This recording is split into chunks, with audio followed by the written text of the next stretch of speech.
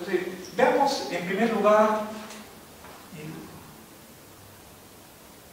un argumento que le vamos a, a denominar el argumento N para tratar de justificar esta primera tesis.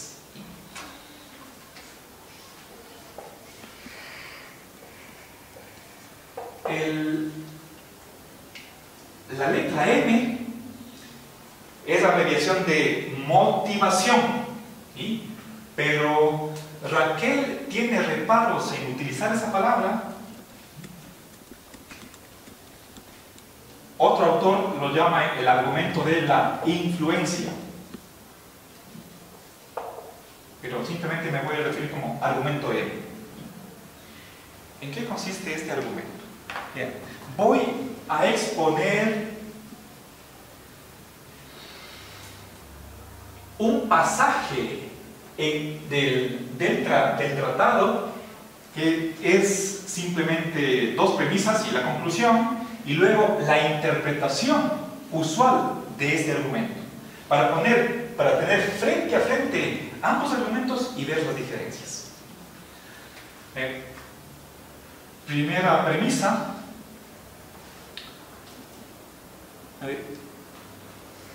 la moral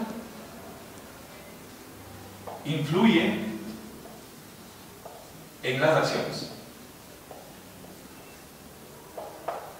Segunda premisa, la razón no influye en las acciones. Por lo tanto, conclusión. La moral no se sigue de la razón. Recuerden aquí este, este símbolo sin la raya tachada es el, torniquete, y es una raya vertical más otra corta horizontal en la mitad y la, línea inclinada que está tachando. No hay una inferencia lógica desde la razón hacia la moral. ¿qué significa la primera premisa? Que bueno, y aquí empiezo a, dar una interpretación. No todavía la interpretación usual o común, sino lo más apegado a la literalidad. Esto es lo que dice Hume, ¿sí? con estas palabras. Bien, cuando alguien conoce un principio moral, puede estar motivado para actuar de un determinado modo. Por ejemplo, pensemos en, aquella situación que nos cuenta Peter Singer, de que hay un niño pequeño, digamos, de 3, 4 años, que se está ahogando en, un cuerpo de agua, y nosotros estamos pasando por ahí.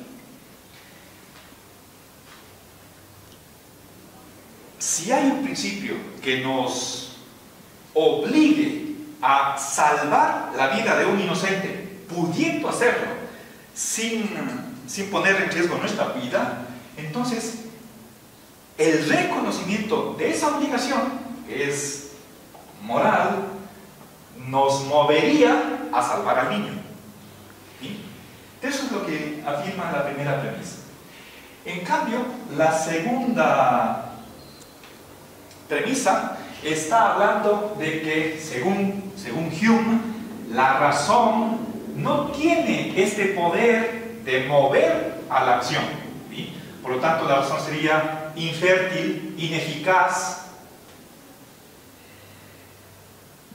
estéril. No, no puede causar una acción o una emoción, un sentimiento que nos mueva a la acción. Ni directa ni indirectamente la razón sería causa de la acción. De estas dos premisas, por lógica, se seguiría que aquí hay una diferencia entre razón y moral. La razón no tiene ningún papel, o aparentemente ningún papel directo que jugar en la moralidad. Bien, ese es el argumento. Ahora veamos cómo esta interpretación tradicional, convencional, lee este argumento. Voy a poner acá el frente.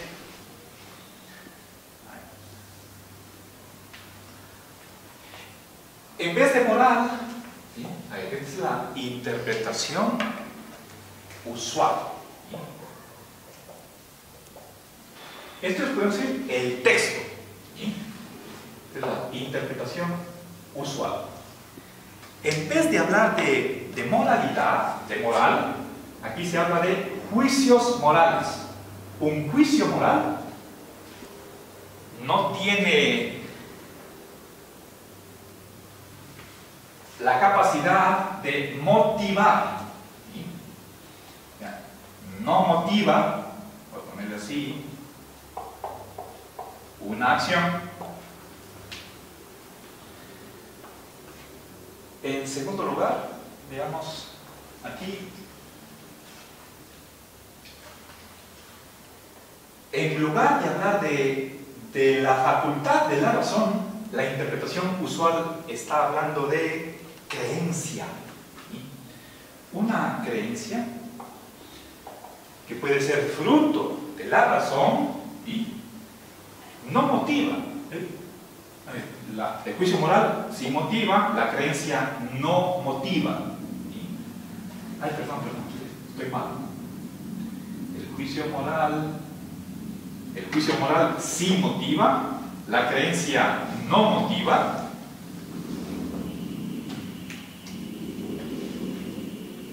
Por lo tanto, un juicio moral no es una creencia.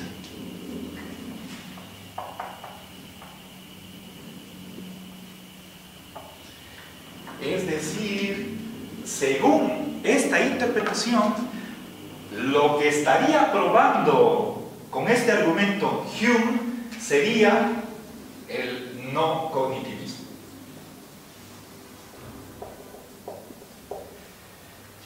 Ver, entonces, obviamente, razón para Hume no es lo mismo que, creencia, pero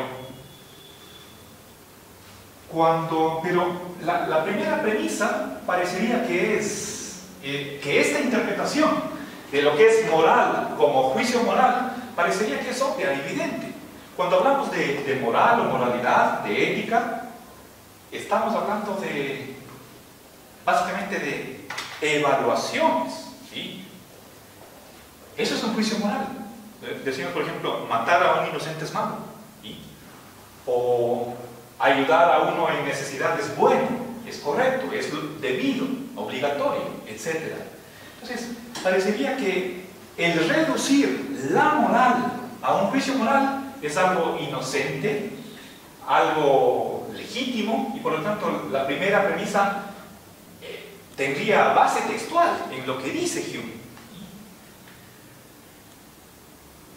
Acá, eh, el mismo ejemplo que presenté antes valdría para apoyar la segunda premisa y de ahí ya tenemos la conclusión. Por lo tanto, esta, esta conclusión que un juicio moral no es una creencia, esto ya es adscribirle o enrolarle a Hume dentro de esta corriente. Pero vamos a ver que esta interpretación no es correcta. Entonces, hacemos aquí una pausa.